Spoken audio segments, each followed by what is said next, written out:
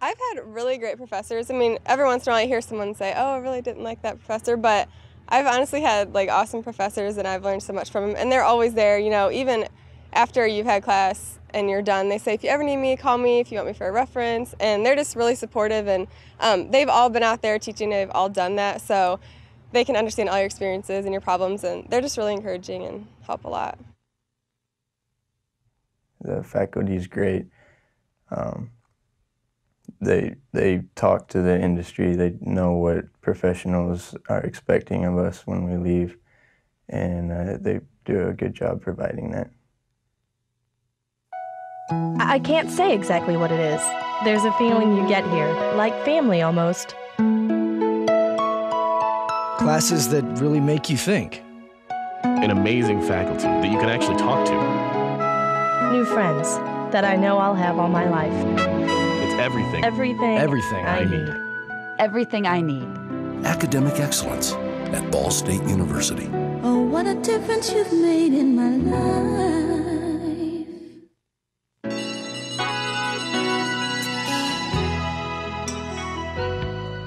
When I was making a decision about college, it all came down to one thing my major, communications. I wanted to be at a place where I could get the very best education and have hands on experience. Ball State is definitely the place for that. Academic excellence at Ball State University. Oh, what a difference you made in my life. before I came to college, people said that you'd never forget your college years, and I would definitely go back to college, like four years again. And uh, I'd skip high school. I wish we could take eight years of college. College was wonderful here at Ball State, and uh, telecommu- telecommunications program was wonderful. The professors are great, and the classes were good, and it helped me for when I get out, and get a job in the real world now that college is done. it's just a growing up experience. You know, you come here and you get away from your parents for the first time and everything, and then you learn here in four years. You know, you learn to go to class and uh, you just learn to experience life. And uh, it's been a lot of fun, and now I'm just kind of ready to go out and be a grown up in the real world. When I first came to Ball State, I didn't really know what I wanted to major in, but I knew I wanted to be at a place where I'd have lots of choices and programs that were right for me. Programs that would help me get a great job when I graduated. Taught by professors who would give me personal attention. Ball State has over 220 undergraduate and graduate programs. I picked the right place. Academic excellence at Ball State University. Oh, what a difference you made was always my dream to teach college biology.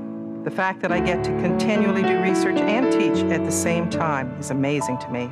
I never tire of learning or teaching. At Ball State, we're encouraged to work closely with students. That's the best part of all.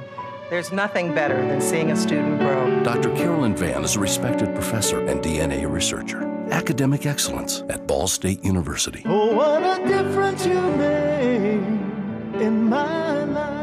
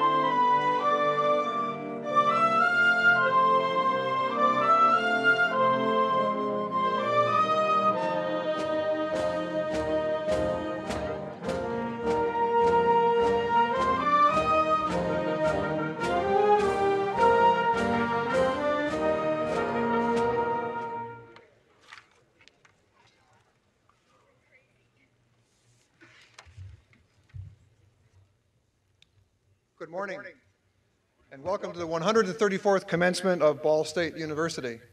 I'm Warren Vanderhill, Provost and Vice President for Academic Affairs, and it's now my very great pleasure to introduce Karen Adele Myring, a graduate student in the School of Music, College of Fine Arts, who will sing our national anthem. Karen Myring.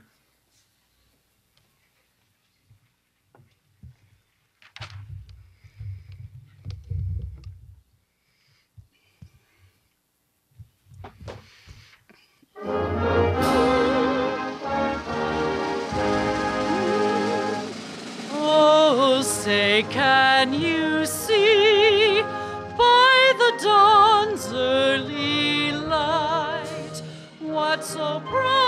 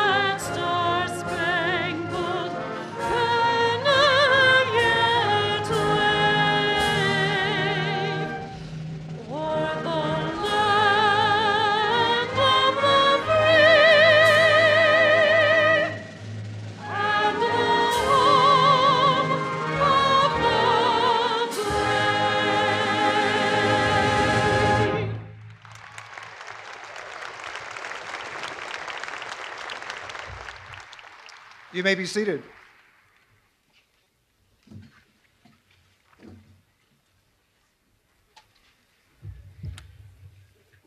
This is a most happy day, and we're certainly glad to have all of you here to share in this very important occasion. It is a very special time for you who are graduating and for your families and friends, and we offer our warmest congratulations. I'm now pleased to introduce members of our Board of Trustees and other members of our platform party and would ask if you would please hold your applause until all introductions are completed. Douglas F. McConkey, Vice President for Student Affairs and Enrollment Management. Ms. Karen Adele Myring, graduate student, School of Music, who of course is our vocalist this morning. Melanie Scott, student member, Board of Trustees. Don Park, Vice President for University Advancement. Lori Ween, MD, President, Alumni Council. O'Neill Smitherman, Vice President for Information Technology and Executive Assistant to the President. Hollis Hughes, Assistant Secretary, Board of Trustees. Beverly J. Pitts, Associate Provost. Richard Moak, Board of Trustees. Thomas Kinghorn, Vice President for Business Affairs and Treasurer. Kimberly Hood Jacobs, Board of Trustees. Frank A. Bracken, Vice President of the Board of Trustees. Ciola Digby Berry, Board of Trustees. James Rubel, Dean of the Honors College. Deborah Balogh, Dean of the Graduate School. Sister Helen Prejean, Honorary Degree Recipient. Dr. David Orr, Honorary Degree Recipient. Thomas L. DeWeese, President of the Board of Trustees. Gregory A. Schenkel, Board of Trustees. The Honorable David Trimble, Honorary Degree Recipient. Blaine A. Brownell, President of Ball State University, and John Reno, Chairperson of the School of Physical Education and Coordinator of Sport Administration and Sport Management Programs, who this morning is carrying the university mace. Please join me in honoring these leaders and platform guests.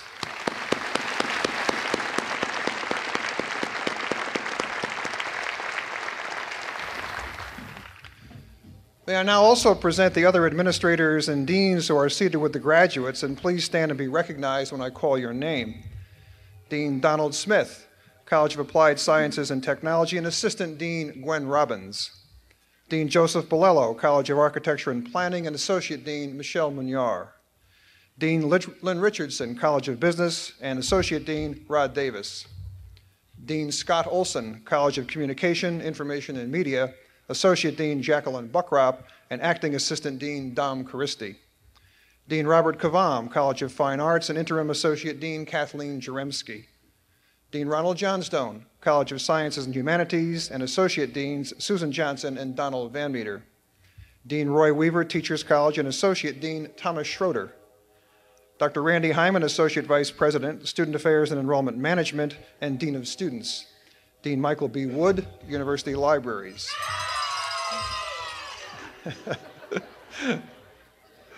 Dean Frank Sabatine, Continuing Education and Public Service. Dean Thomas Lowe, University College and Assistant Provost. Dean Lawrence Waters, Admissions and Financial Aid. And today our signers are Sandra Gooding and Laura Shadone. And please join me in recognizing these leaders on our campus.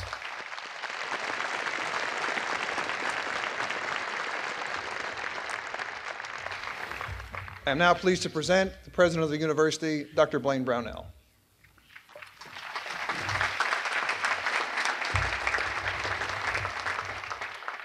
Thank you very much, Provost Vanderhill.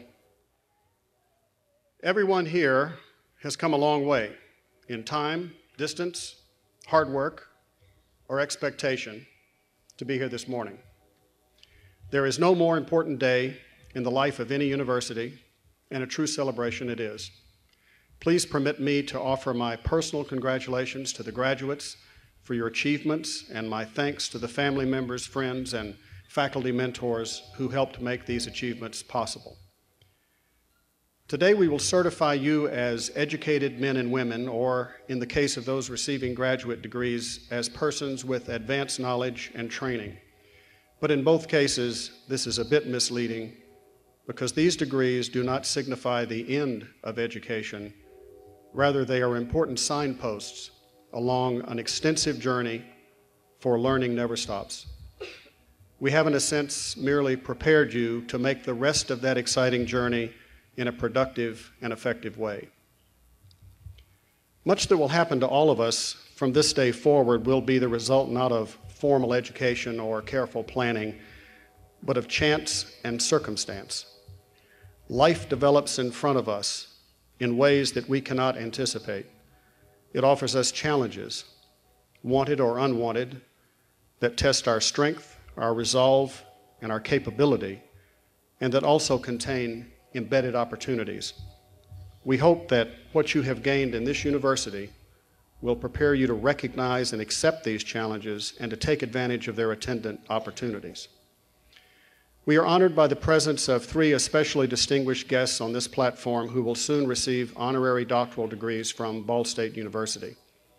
They were chosen for this special honor because of their achievements and also because they exemplify qualities and personal character that we wish to associate with this university. Each one of these individuals has a long list of accomplishments and has garnered national and international recognition. But each of them would probably tell you that this has not been due to their superior intelligence or unique spiritual insight or specific academic credentials, although they are all gifted in many ways, but mostly to the fact that their success is due to the that they were challenged and that in various ways they accepted and responded to those challenges. They moved forward mostly step by step, not by great leaps of imagination. They had self doubts, they made difficult choices, they had significant help from others, they benefited from good fortune, and they all probably wondered how in the world they ever got to this point in their lives. We will all have occasions to which we can rise, and I hope that you are looking forward to worthy challenges that can test your skills and convictions and can elicit the very best that you can give. We are, in a very real sense, defined by the quality of the challenges we encounter. I wish all of you worthy challenges in the expectation that your time at this university has helped to prepare you to do your best and to prevail when the time comes. So, again, congratulations to all of you. Good luck and Godspeed, and welcome to a lifelong association with Ball State University.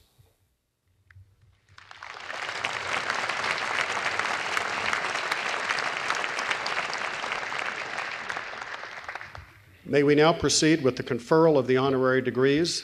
Uh, and I ask Mr. DeWeese, Mr. Schinkel, Dr. Vanderhill, and Dr. Balogh to please assist.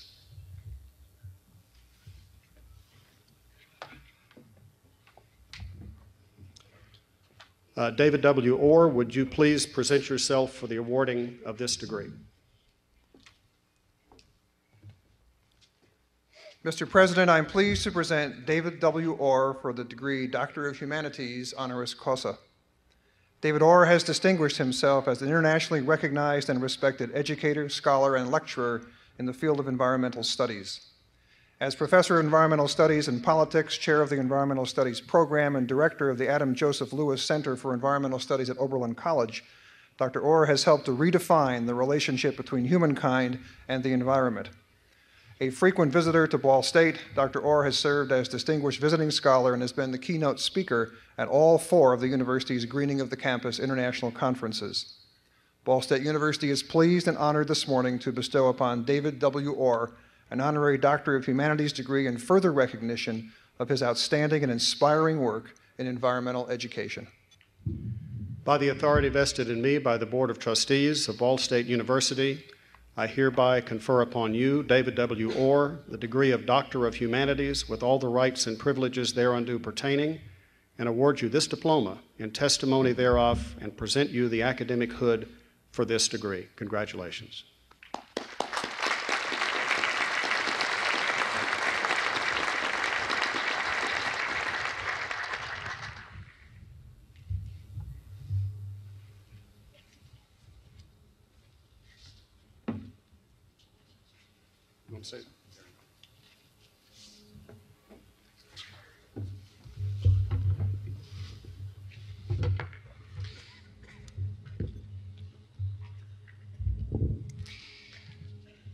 I've got a uh, two hour response, and all of you have nothing better to do on a day like this.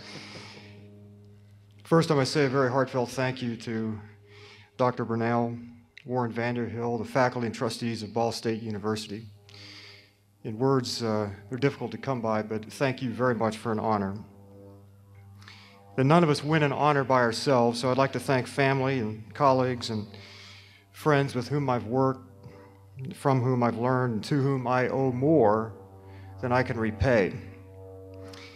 And I must say, it's very humbling to be on the same platform with two remarkable and wonderful people who've done so much to advance the cause of human decency and peace Sister Helen Prejean and the Honorable David Trimble. And I've got to say, in all candor, a few moments ago, as we were putting on academic regalia that has a zipper down the front, Sister Helen Prejean's zipper was stuck. I stepped forward to help her. And I didn't have a lot of luck. And Sister Helen looked at me and asked, When was the last time I had helped a nun with her zipper?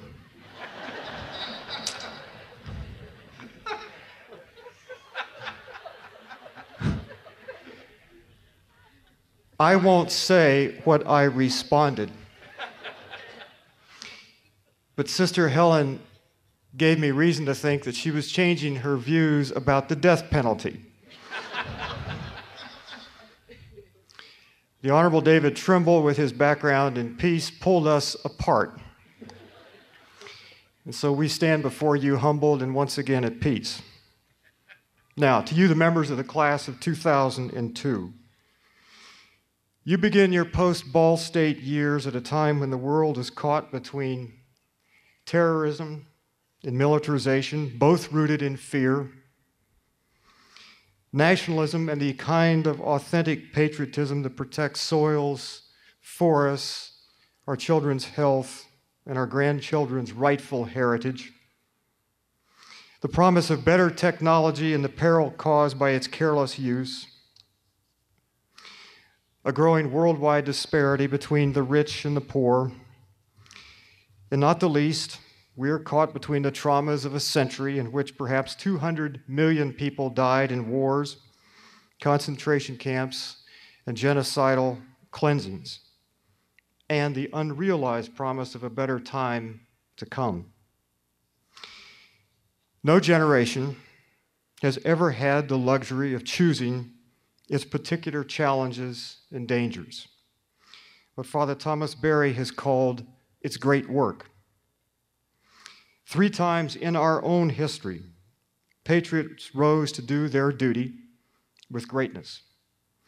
The generation of the American Revolution threw off tyranny and created a nation based on the belief that all humans are created equal.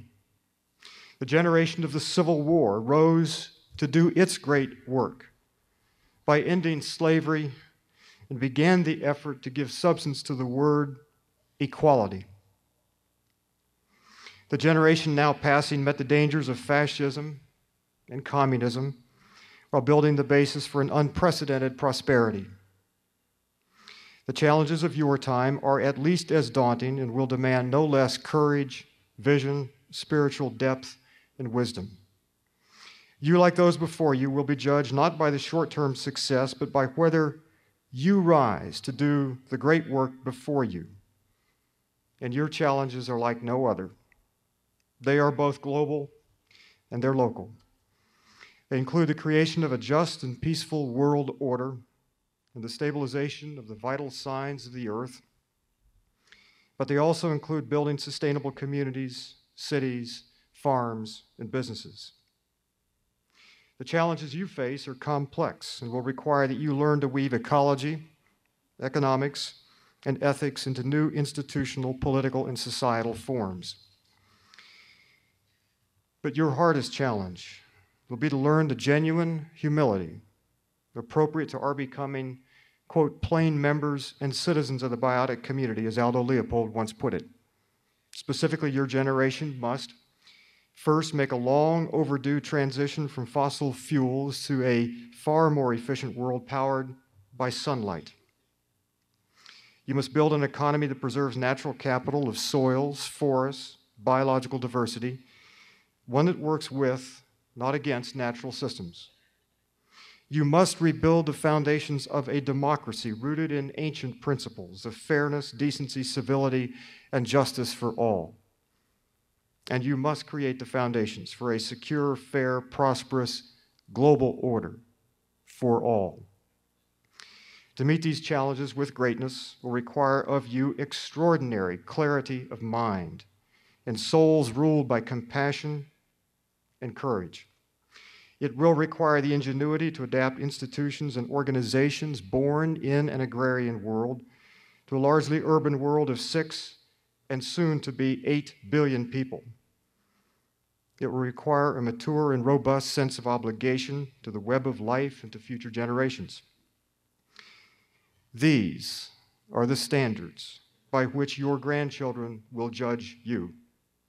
No generation has ever had greater work to do, and none has ever had more reason to rise to greatness.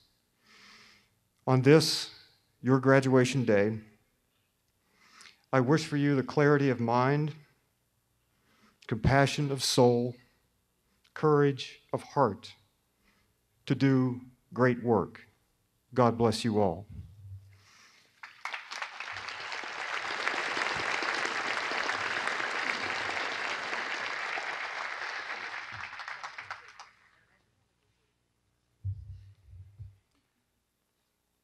Sister Helen Prejean, would you please present yourself for the awarding of the honorary degree?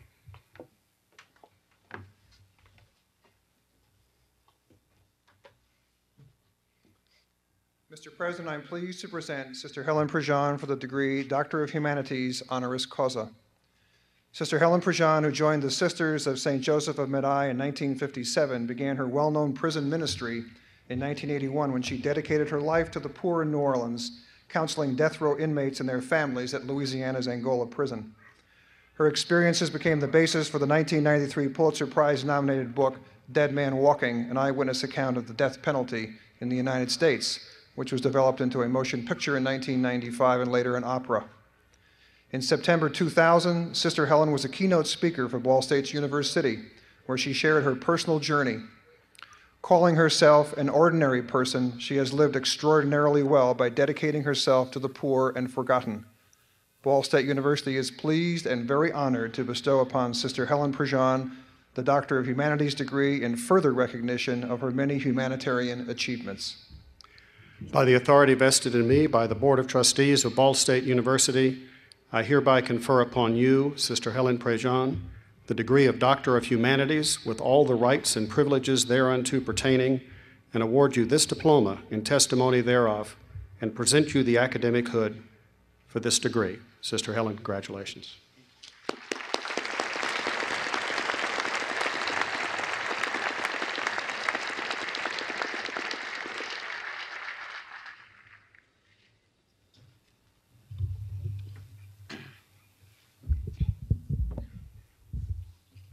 Let's all just try to forget about that zipper story.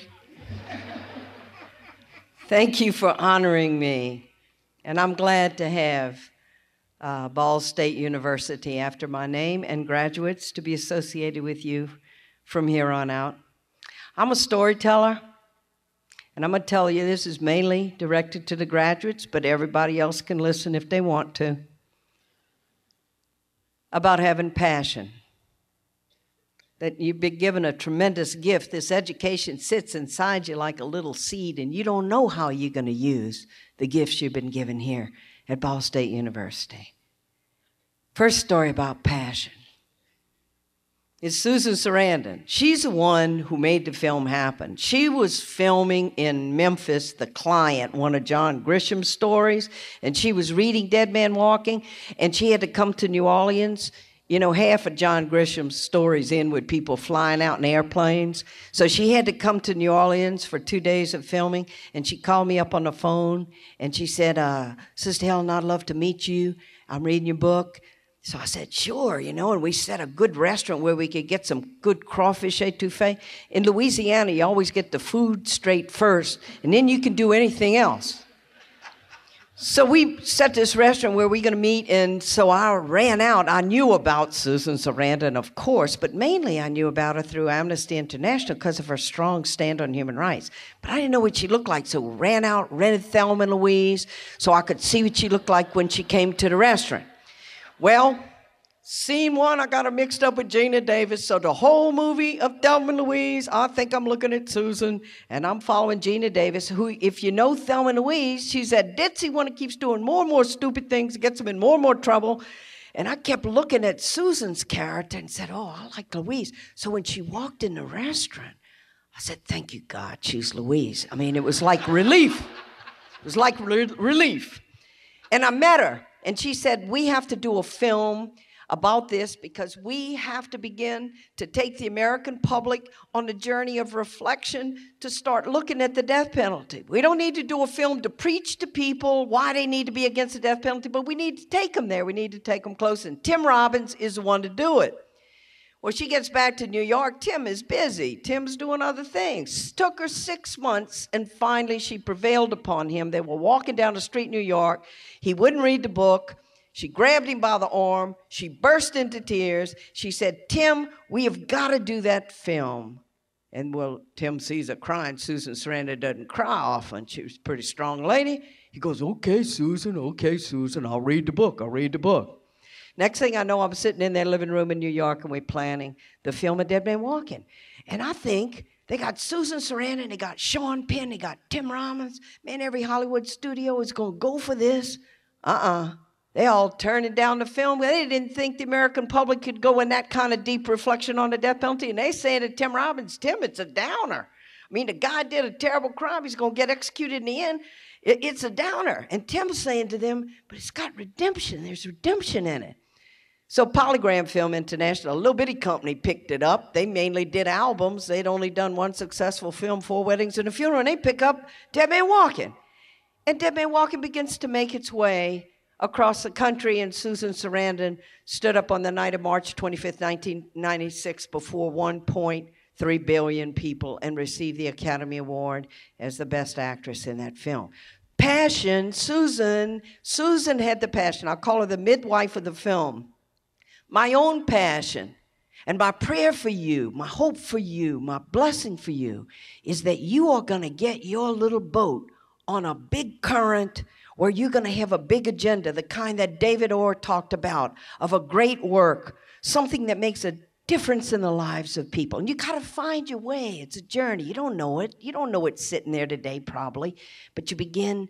And for me, the way it began was it was related to my religious faith about the gospel of Jesus and that he was with poor and marginated people. And that's what led me to, to live in the St. Thomas housing projects among poor, struggling African American people. And I come from the South. I come from this where racism is still such a big part of our lives. And I go and live in this neighborhood where I began to get a real education on the underside of the great American dream and the struggles of people. And it was when I was there that I got an invitation one day Hey, Sister Helen, you want to write a letter to this guy on death row here in Louisiana? I say, sure. It was 1982. We hadn't executed anybody in Louisiana since the 60s. I think all I'm going to be doing is writing this letter to this person. He writes back. I go and visit him. I meet him. And when I looked into his face there on death row in Louisiana, everything dropped away in terms of all the complexities of things, though I'm going to enter into it in a new way. But he had such a human face. I said, My God, he's a human being. Then I go to visit him. I know he's done a crime. I go in and I begin to find out about the crime, open up a newspaper and look into the faces of two beautiful young people like you David LeBlanc, Loretta Bourque, 18, 17 years old. And I read with horror the story of what this man that I'm visiting and his brother had done of killing these two young people, killing them. And when you when we hear of these crimes against innocent people, it's part of our souls. It's part of decency to be filled with outrage. And I was filled with outrage. And yet there he was, a human being. And that began my journey into the complexities of the death penalty. Murder victims' families on one side, perpetrators on the other. And that's what the film does. That's what any good communication does. Takes you over to both sides. We have some heroes in this community. There are victims' families among us who have had people murdered, but who choose the road not to go down the road of vengeance and retaliation, but choose the way of reconciliation, forgiveness. Bill Pelke's sitting in here today. His grandmother was murdered by a 16 year old girl. And he not only visited that young girl, he was instrumental in getting her the death penalty relieved from her. Bill Pelke's daughter, Rebecca, is graduating today. Bill Pelke stands among us as one of those people that is a living sign. David Trimble here from Northern Ireland is another one. That violence is not the way to try to solve our social problems. I get to meet these people. I am filled with a passion and I will work for this until I die to tell the story, to help people to reflect, help us navigate the difficult moral terrain of outrage on the one hand in our souls, of innocent people being killed by crime, and on the other, reason, faith that violence is not the way to let our government try to solve the problems. More and more, we are becoming aware there are a lot of problems, and even applying the death penalty, we have 100 innocent people who have come off of death row. For every seven people we've executed, we have to release people from death row because they're innocent, because the whole system's frail and flawed, and it has all the wounds and biases in it that we have in our society. One last little story of passion about a young lawyer who wasn't very promising. In fact, he was kind of floundering around, didn't know what he was going to do, and he had a rich uncle and said, Send the kid to law school. He goes to law school, he comes out, he's still kind of floundering, has his first case. It wasn't worth about a lot of money, but he was so inept, he didn't know what he was doing. It was kind of like my cousin Vinny. If you ever seen the movie My Cousin Vinny of the inept lawyers. So when he gets up to defend his client in the courtroom, he can't speak. I mean, the poor client's looking up, and the lawyer can't move his lips. And of course, he's laughed out in the courtroom. Nobody came to him for cases, right? And then one day, a man came to him and said, You gotta help me. He said, Why are you coming to me? He said, Because you went to law school. He said, You know this stuff. You just gotta dig. You gotta help me. I'm poor. I got nobody. Look at my case. Look at this. And, the- and the lawyer could see it was a case of injustice. And so he said, Okay, I'll take your case. He went, in the, and went into the court, stood up. He had done his research, he had gotten his knowledge, and he went in and defended the man and won the case. You know who I'm describing to you? Is Mahatma Gandhi. We all begin small. We all begin with ordinary deeds that involve us in the lives of people. And hopefully, along the way, a fire of passion blooms inside of us to do great work, things that matter to people, that make a difference in the world. You've been given a great gift from Ball State University, and now you take that oil, you take that energy, and you burst into flame and become fire. Thank you, and I'm glad to be associated with you.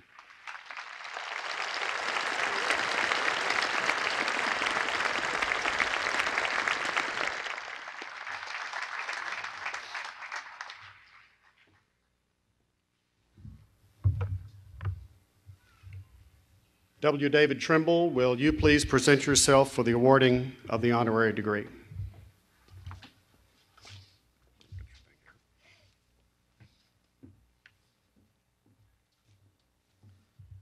Mr. President, I'm pleased to present the Right Honorable W. David Trimble for the degree Doctor of Laws honoris causa. David Trimble has distinguished himself as a leader who demonstrated great political courage when at a critical stage in the process he advocated solutions that led to a peace agreement in Northern Ireland in 1998. His steadfast commitment to peace and his keen intelligence as a negotiator were recognized later that year with the Nobel Peace Prize, an honor he shared with Northern Ireland's leading Catholic politician, John Hume. In July 1998, Mr. Trimble was elected First Minister of the new Northern Ireland Legislative Assembly. Three years later, he would resign his post, but after the IRA decommissioned its weapons in a bid to save the peace process, he was reelected First Minister in November 2001. In 1999, Mr. Trimble spoke at Ball State University to a standing room only crowd, and today Ball State University is pleased to bestow upon W. David Trimble the honorary Doctor of Laws degree in further recognition of his world leadership and accomplishments in peacemaking and reconciliation. By the authority vested in me by the Board of Trustees of Ball State University, I hereby confer upon you, W. David Trimble, the degree of Doctor of Laws with all the rights and privileges thereunto pertaining, and award you this diploma in testimony thereof, and present you the academic hood for this degree. David, congratulations.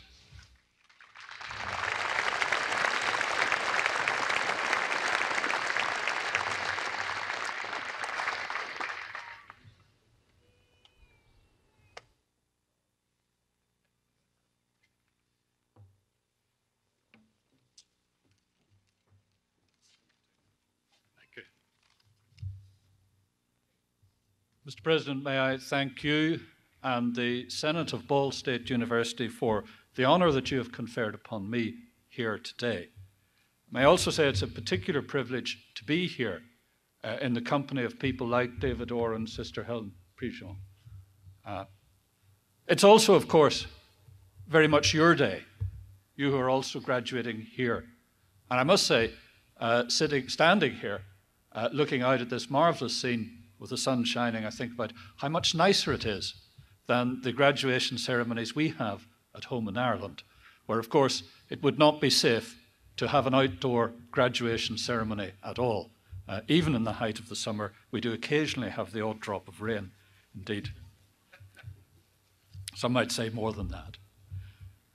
But it is indeed a particular pleasure for me to be back here at Ball State University. It's a, uh, it's a long story which I will not tell uh, of the coincidences that brought me here in 1999, but it is a particular pleasure uh, to be back on this occasion, and I have the odd suspicion uh, that uh, I might find myself being back on future occasions as well. It is nice to be here and to be with you. The degree that you've awarded to me today is also very much a recognition of what has happened in Northern Ireland over the course of the last number of years. As the citation has indicated, uh, the agreement that we achieved in April 1998 was the work of many people. John Hume, the leader of the, the SDLP, uh, who was awarded the Nobel Peace Prize along with myself, obviously comes to mind. But there are many other party leaders who were involved uh, in the negotiations and in terms of what was then achieved. In the years since then, again, as the citation acknowledges, we've had uh, our ups and downs. Uh, we've had occasions when it really has been a, tightrope act, and times when it looked as though we were going to come off that tightrope. But we've managed to keep things moving. And at the moment, there is, I think, the, the impression of a general degree of stability in the process. That's not to say that we're not without problems. We are. We have significant problems. Uh, but there is expectation, I hope that we are going to, to resolve those positively. One of the things I've found quite remarkable and a little sobering is the tremendous level of interest there is outside Northern Ireland in developments there. We're a small place, population not quite 1.7 million, one third, less than one third the population of this state. And yet there is that degree of outside interest, not just interest, but also of involvement. I was delighted to discover last night that there are members of the, the faculty of this university who are engaged in a scheme to bring to Indiana uh, children from both a, a, unionist and a nationalist background, from a Catholic and a Protestant background, and bring them here so that they can experience meeting each other and interacting with each other in a way that they wouldn't be able to do at home. And I think it is remarkable that there are people here who display that degree of personal interest in the situation we have. It is, however, a remarkable fact in itself uh, that people from Northern Ireland, very often when they're abroad, when they're outside Northern Ireland, like here in the United States, and they meet, they find they get on extremely well.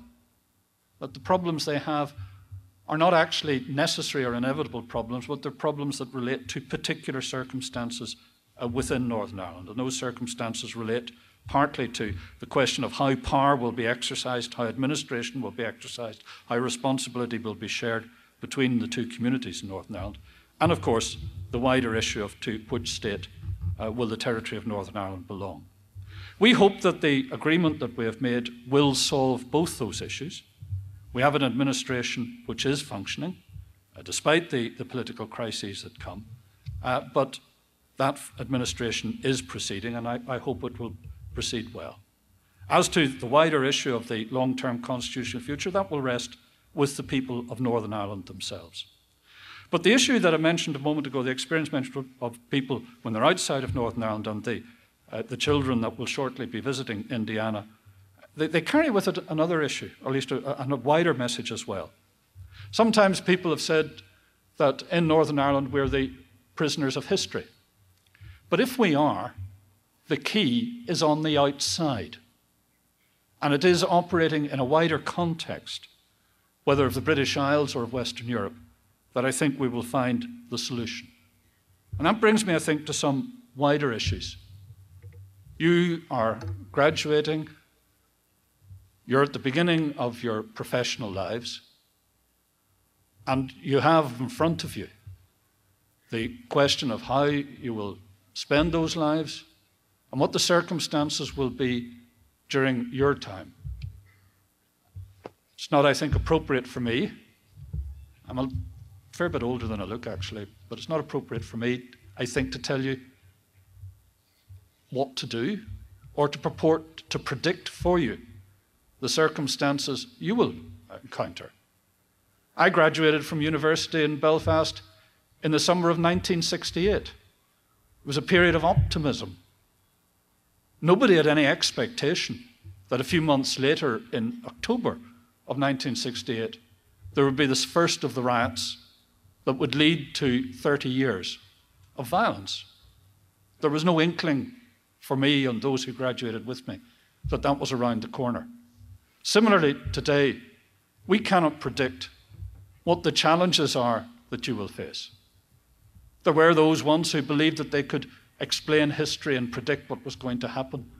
There was once a, a belief in the inevitability of human progress, uh, but the theories that developed from that led to the awful realization of communism and the, the way in which the world was in the, the 20th century. We don't know what the problems will be in the 21st.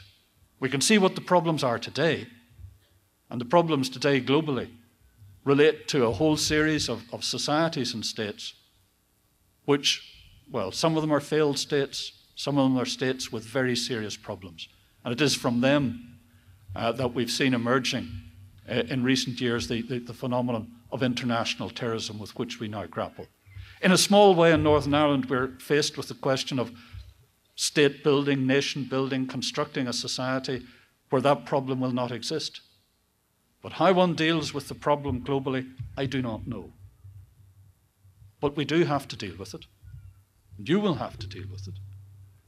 And while the notion of the inevitability of human progress cannot now be sustained, I think it is arguable and it is possible to hold to the view that through the generations there has been gradually through the last centuries there has been a gradual incremental growth in rationality in how we tackle our problems. And that, I think, points to the, key thing that I would suggest to you here this morning that the most important thing we have is our human capital. Yes, we've all got societies in which there are greater or lesser degree of natural resources. We all inherit a, a state of affairs of society which is a particular level of development or a particular level of prosperity. But the key thing for us in terms of how we then develop our response to the challenges that come is a question of our human capital, our character, intellect, and the spirit with which we meet those challenges. I believe that we can overcome them.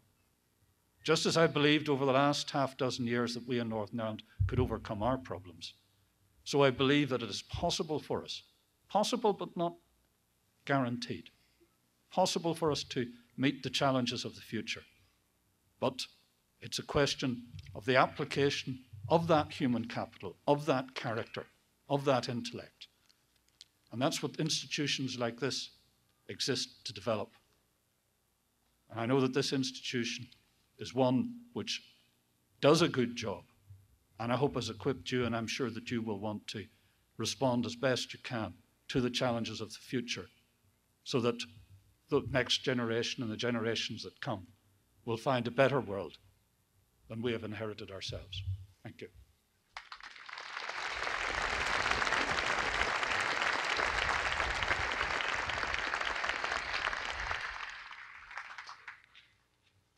Dean Balogh, we will now proceed with the hooding of the doctoral candidates.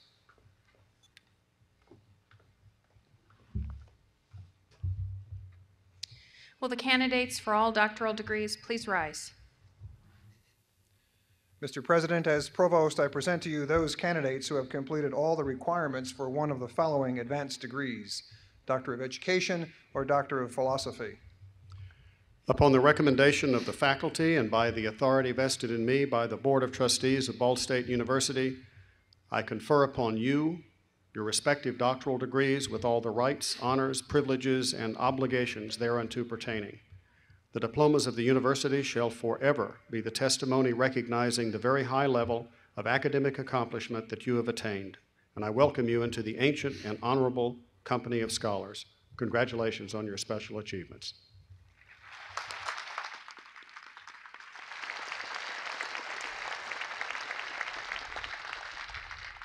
Uh, the candidates for the doctoral degrees will now proceed to the platform to cross as their names are called and be invested with symbols of their degrees. Dr. Jackie Nelson will lead the doctoral candidates to the platform, and the candidates will be accompanied by members of their doctoral committee who will do the hooding.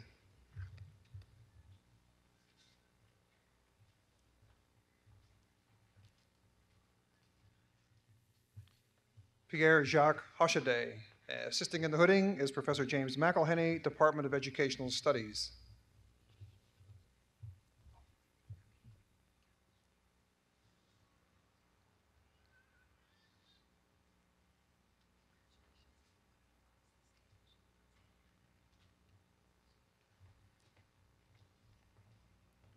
Pamela M. Owen. Assisting in the hooding of Dr. Owen is Dr. Patricia A. Clark, Department of Elementary Education.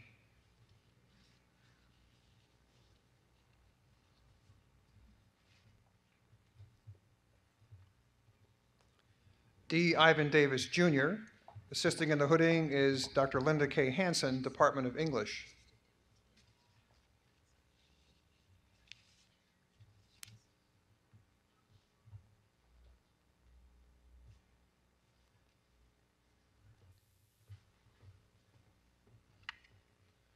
Troy Andrew Holliday. Assisting in the hooding is Professor Hanson.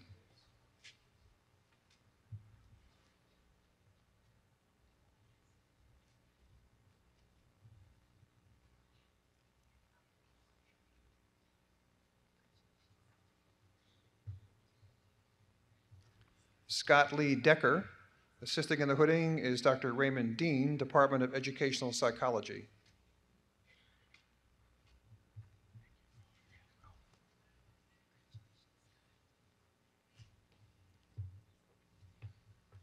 Kevin Patrick Dugan. Assisting in the hooding is Dr. Phyllis A. Gordon, Department of Counseling Psychology.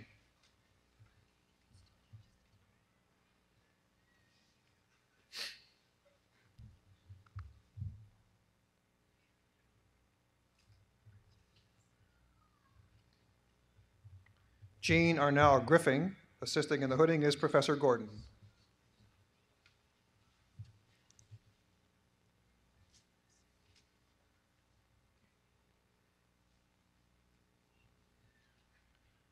Robin M. Lett, assisting in the hooding, Professor Gordon.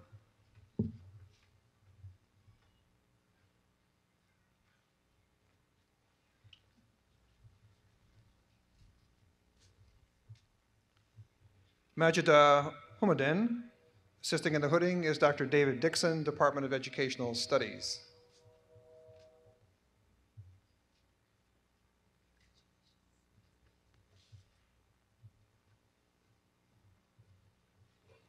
Stacy Suzanne Mulder. Assisting in the hooding is Dr. Patty White, Chairperson, Department of English.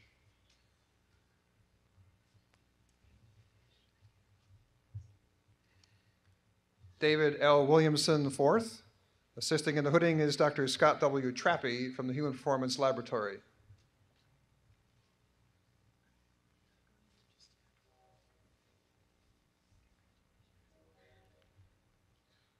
David C. Wright. Assisting in the hooding is Dr. Bruce W. Craig, School of Physical Education.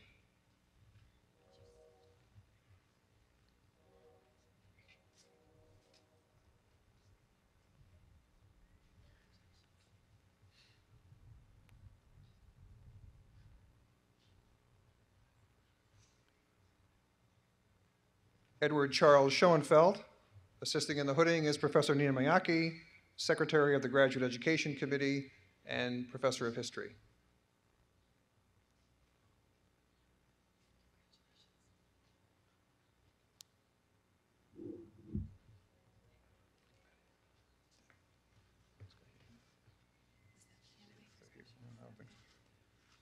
Will the candidate for the degree of Specialist in Education please rise?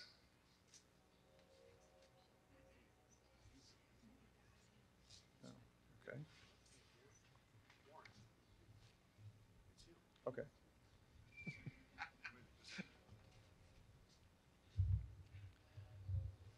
Dr. Balogh will now present the candidates for master's degrees. Will the master's degree candidates please stand? Mr. President, I'm pleased to present those candidates for master's degrees who have completed all the requirements for their respective degrees. Upon the recommendation of the faculty that you have completed all the requirements for graduation, and by the authority vested in me by the Board of Trustees of Ball State University, I confer upon you your respective master's degrees with all rights, honors, privileges, and obligations thereunto pertaining. The diplomas of the university shall forever be the testimony and recognition of the, your completion of the first level of graduate study. Congratulations to each of you. You may be seated.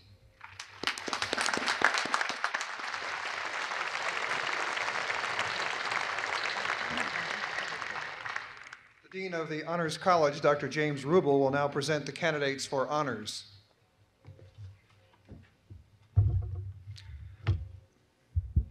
Those baccalaureate candidates who are graduating from the University Honors College are wearing the red and white cords. The Honors College provides distinctive educational opportunities for undergraduates of high academic achievement.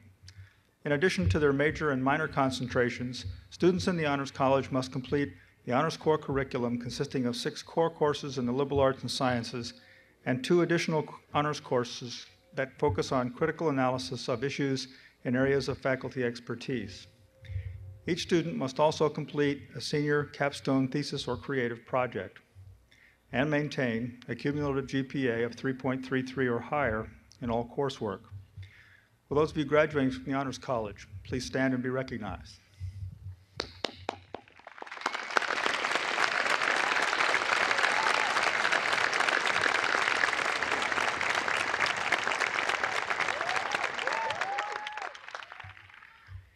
Departmental honors are awarded to those students who graduate with a minimum grade point average of 3.5 in their major.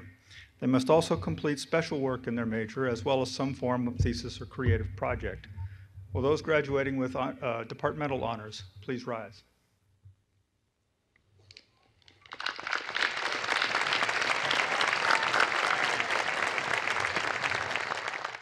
We recognize associate degree students who have achieved a 3.6 or higher grade point average with the designation Associate Degree with Academic Distinction. Will the students graduating with this recognition please rise?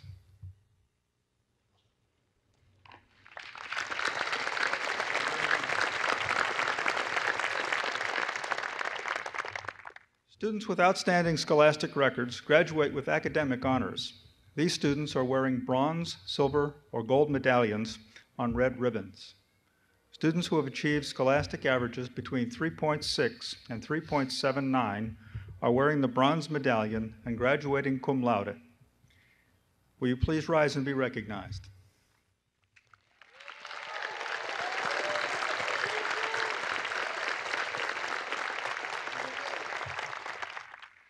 Those graduates who have earned scholastic averages between 3.8 and 3.89 are wearing the silver medallion and graduating magna cum laude.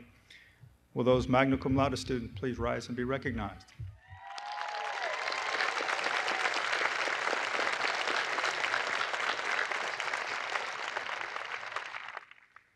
The highest scholastic honors given by the university go to those students whose scholastic averages are 3.9 or higher. These graduates are wearing gold medallions and are graduating summa cum laude. Will those of you graduating summa cum laude please rise and be recognized?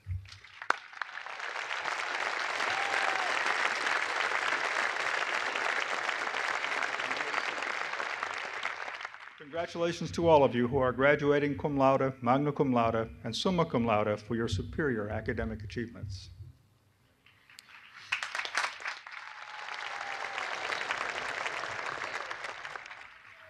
We have three graduating seniors who have achieved special academic distinction. Two of them are present this morning, and I would ask Mr. DeWeese to come to the main podium, and I would ask the junior marshals to escort these students to the steps. They are David Allen Deal and Dawn Amber Vincent.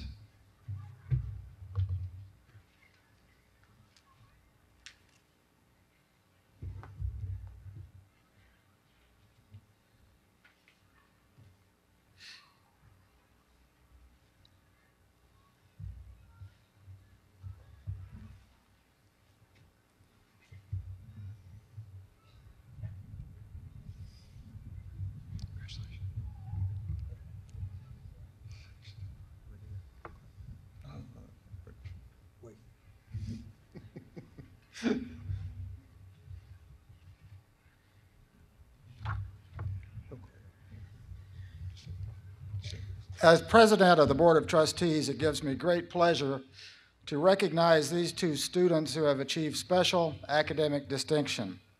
They have completed their baccalaureate degree programs with a perfect 4.0 grade point average, an incredible achievement.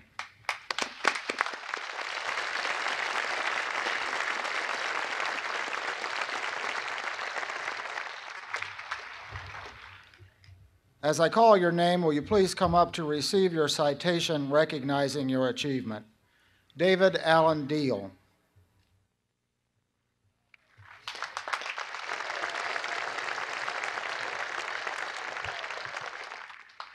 David Allen Deal is from Cincinnati, Ohio, and a graduate of Walnut Hills High School, where he graduated with honors. At Ball State, he majored in marketing and has accepted a job in marketing research in Evansville. Congratulations, David.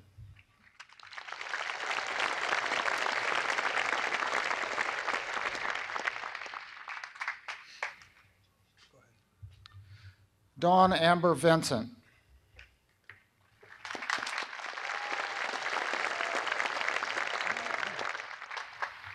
Dawn Amber Vincent from Elwood, Indiana, is a graduate of Tipton High School. At Ball State, she majored in dietetics. She has accepted a job as a quality control analyst for a company in Bloomington, Indiana. Congratulations, Dawn.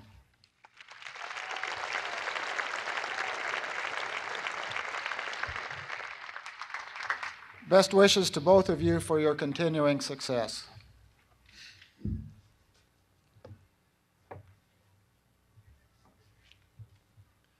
Will all candidates for baccalaureate degrees or associate degrees in the College of Applied Sciences and Technology please rise? Will all candidates for baccalaureate degrees in the College of Architecture and Planning please rise? Will all candidates for baccalaureate degrees or associate degrees in the College of Business please rise? Will all candidates for baccalaureate degrees in the College of Communication, Information, and Media please rise?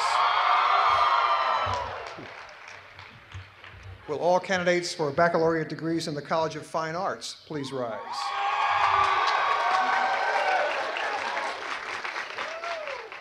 Will all candidates for baccalaureate degrees or associate degrees in the College of Sciences and Humanities please rise? And will all candidates for baccalaureate degrees or the associate degree in Teachers College please rise? Mr. President, I am pleased to present to you those candidates for degrees who have completed all the requirements for their respective baccalaureate or associate degrees. Upon the recommendation of the faculty that you have completed all requirements for graduation and by the authority vested in me by the Board of Trustees of Ball State University, I hereby confer upon you your respective bachelor's or associate degrees with all rights, honors, privileges, and obligations thereunto pertaining. The diplomas of the university shall forever be the testimony of your accomplishments. With pleasure, I admit you into the company of educated men and women. Congratulations to each of you, and you may now wear your mortarboard tassels on the left side.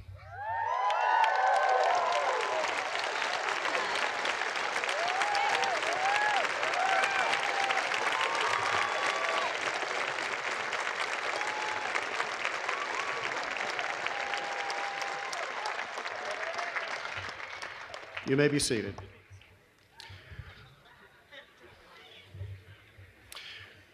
We have uh, today gathered to honor the academic achievement of our students.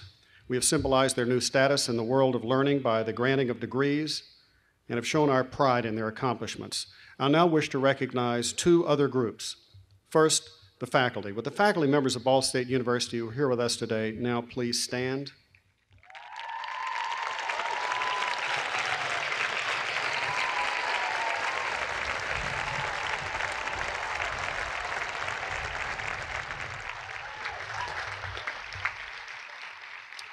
The academic regalia, which they wear, has a long tradition. It symbolizes their commitment to teaching, to the search for truth, and our society has charged them to create, preserve, and transmit the accumulated wisdom to each new generation.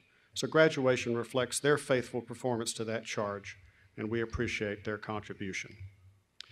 Finally, there's a very special group of people whom we all want to recognize and thank.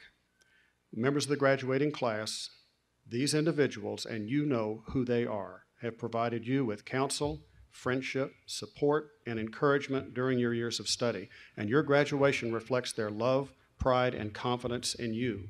And so now I'm going to ask for all the parents, spouses, relatives, friends, and sponsors of the graduates to please stand so we can thank you for making this day possible.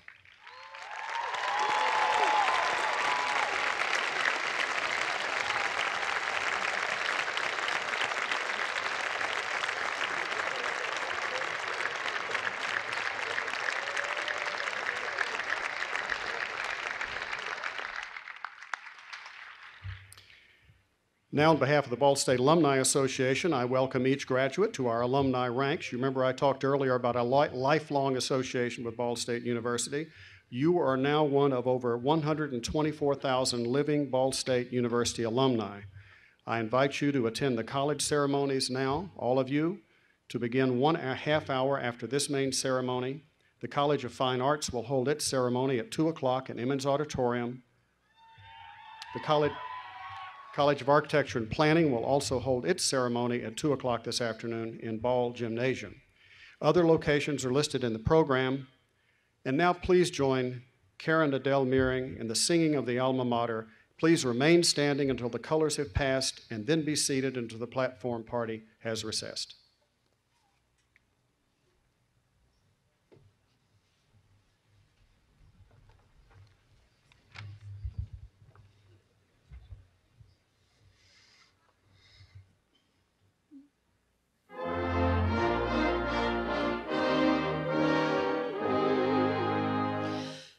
Dear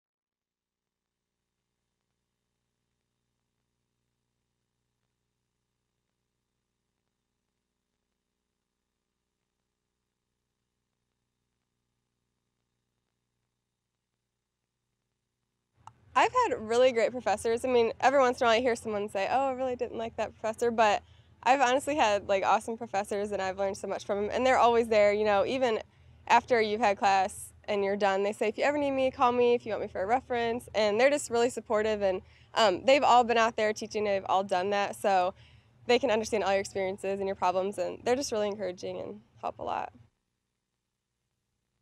The faculty is great.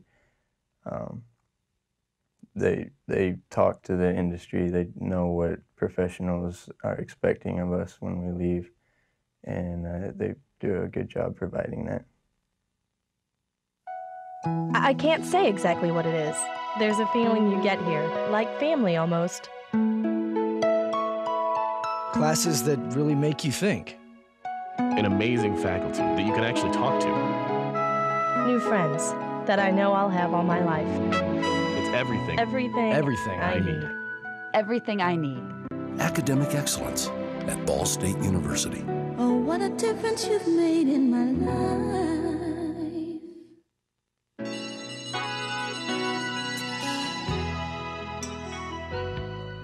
When I was making a decision about college, it all came down to one thing my major, communications. I wanted to be at a place where I could get the very best education and have hands on experience. Ball State is definitely the place for that. Academic excellence at Ball State University. What a difference you made in my life. Before I came to college, people said that you'd never forget your college years, and I would definitely go back to college, like four years again.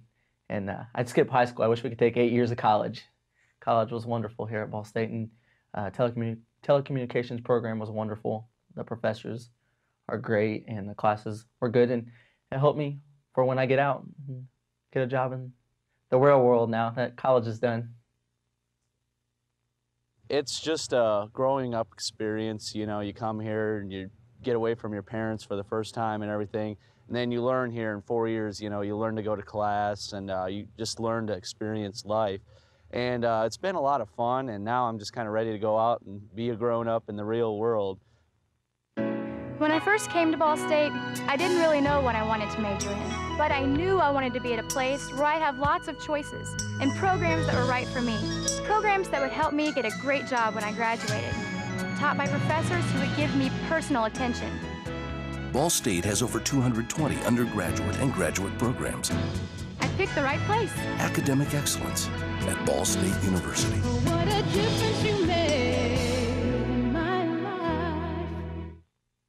Was always my dream to teach college biology. The fact that I get to continually do research and teach at the same time is amazing to me. I never tire of learning or teaching. At Ball State, we're encouraged to work closely with students. That's the best part of all.